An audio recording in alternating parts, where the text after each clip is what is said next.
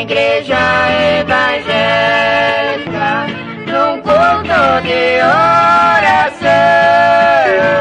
Foi quando me converti com Jesus no coração. Foi quando me converti com Jesus no coração. Sentindo o poder.